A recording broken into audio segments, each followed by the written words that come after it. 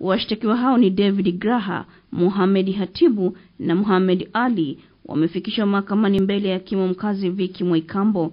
Wakili wa serikali mkuu Faraja Nchimbi akisaidiana na wakili wa serikali mwandamizi Wankio Simon wamedai kuwa washtakiwa hao walitenda makosa hayo kati ya Julai mosi mwaka 2015 hadi Oktoba 14 mwaka huu jijini Dar es Salaam.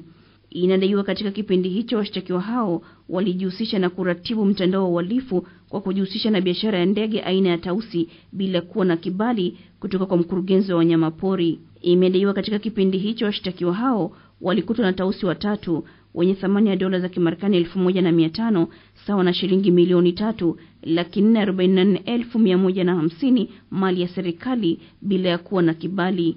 Baada ya kusomewa mashtaka hayo, hakimu amewataka washtakiwa hao kutojibu lolote kwa kuwa mahakama hiyo haina mamlaka ya kusikiliza kesi hiyo. Kesi hiyo imeahirishwa hadi Novemba 7 mwaka huu. Angela Matayo, Star TV, Dar es Salaam.